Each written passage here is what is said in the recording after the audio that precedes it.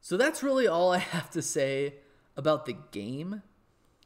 Uh, as as far as I'm concerned, um, explain the positives and the negatives to the best of my abilities. Um, and again, I, I don't really blame Robert Saleh for that late hit. I just I, I just personally believe that you know he's telling his players, you know, if you if you want to be a starter, if you want to be on the roster, you got to make a play, and that's what he tried to do, but it backfired. And luckily, Jalen Hurts was he was okay. It's no harm, no foul. Nick Sirianni yelling from the sidelines. People have been memeing that to death.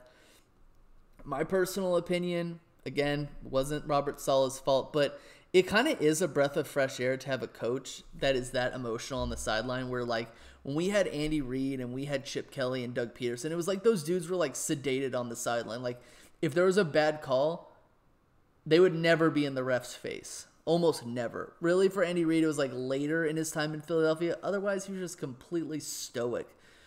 Like, have some emotion on the sideline. Sometimes you don't like to see that because because other fans are like, "Oh, stop crying," but like, you could tell that those dudes are really in for the team. And obviously, I hope that Nick Sirianni makes a jump uh, as as time goes on uh, to being a better head coach. Because again, he's our head coach.